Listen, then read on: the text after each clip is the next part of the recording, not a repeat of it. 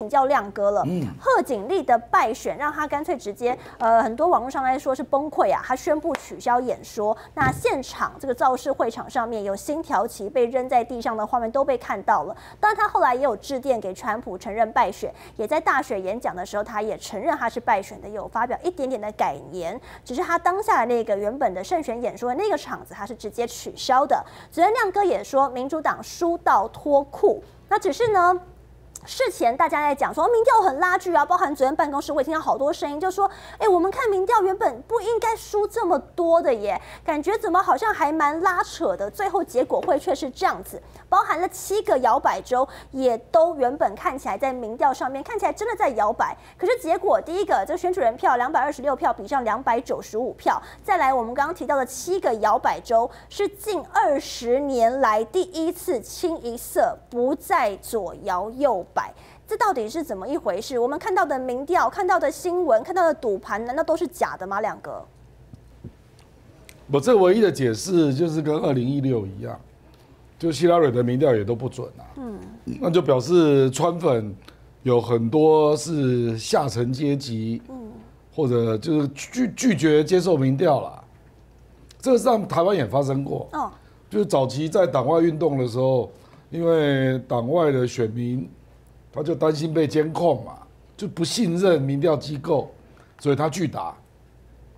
啊，可是这些人是会投票的，所以我们早年。有时候在看选举啦，现在已经不一样了。现在搞不好是国民党拒答，那早年是党外拒答比较多。嗯，哦，那我认为川普的选民二零一六就有这个现象。那这一次，因为他一路都一直在宣传说，哎，大部分的民调机构啦，各种媒体都是民主党的。对，所以那个都是假的啊，所以就会导致有人不愿意。回答民调啊？论假新闻，还有人比台湾更高干吗？不，这个不是假，是信是不信任，就觉得坦白讲也有一定假的成分啊。对，因为 NBC 在选前三天就宣布贺锦丽当选，确实有了翻车啊。那所所以你你去想一想嘛，都低估个两个 percent 就就大翻车了。嗯，因为事实上，而且那个川川粉蛮够力的啦。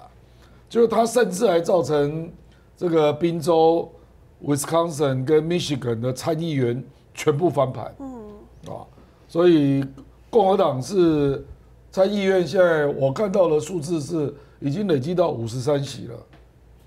那这个我们政治学上就叫群尾效应嘛，对，就完全就是被川粉卷上来的啊。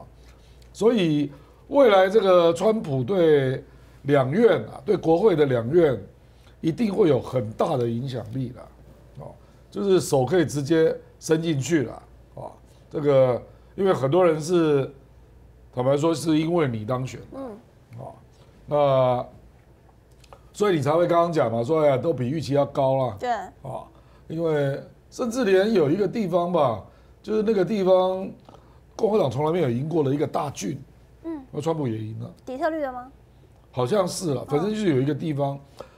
好像是宾州吧，我我不太记得了。反正就是我我觉得就是共和党的那个得票率比预期高。等于说你刚刚讲民主党的一些大票仓都没拿到。呃，就是我坦白说了，这跟贺锦丽也有关系啦。我今天早上就有一个朋朋友寄给我一篇文章，他说贺锦丽给人家感觉都在经营民主党的高层啊。哦。那对民主党的那两大基层，一个是劳工嘛。一个是黑人民权运动疏于经营啊，哦，所以就导致我觉得有一些劳工啊，哦，比如说以前民主党有一个 Bernie Sanders，那是很左的嘛，那支持 Bernie Sanders 的一些很左的人，事实上不一定有投给贺锦丽，啊，他就觉得贺锦丽好像都只关心比较是中产阶级的左翼的议题了。就是我我们就说那个不是传统左派的议题，比如说就是这个妇女的堕胎权啊，呃性别权利啦这一种的啊，啊或者是环保啦，哦，那传统的我们所谓左翼就是社会经济不平等，对，那劳工啊，那黑人民权运动啊，你不觉得有何锦丽很少出现在那种场合吗？对不对？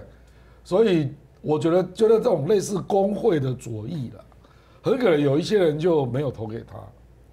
哦，比如说我随便举例子，比如说滨州，滨州民主党那个参议员也落选了，那个 Casey 啊，那那个地方就是很多是石化业。对。那石化业本来就是贺锦丽的对。短板，因为他环保环保派的嘛。对啊。啊，可是这个如果说你长期是跟劳工在一起的，你就有那个线，或者是你可以表现说，我虽然对石化业有意见，但你从劳工的角度对对对对对嘛，你可以补过来，说得通。可是他没有那个能力，我我所以我说这个，我觉得这个是应该是两种力量同时有，就是说，哎，川普他可以接触劳工啊，因为我常常看到一种场面啊。就贺锦丽，比如说去滨州那种地方，然后出来的都是一些蓝领阶级的，要听你演讲嘛，那你就觉得他在唱高调，就讲的话都是都是中产阶级式的语言呐，就是好像不够接地气，你知道吧？啊，那给人家感觉他就是个检察官，然后就是讲的就是比较知识分子、中产阶级的语言，那川普啊。就像就像住在你家的大哥，他可以去麦当劳，那可以开乐色车啊，对，那就可以跟你聊天啊，就跟那个劳工阶级就在那边打打屁啊，聊天啊。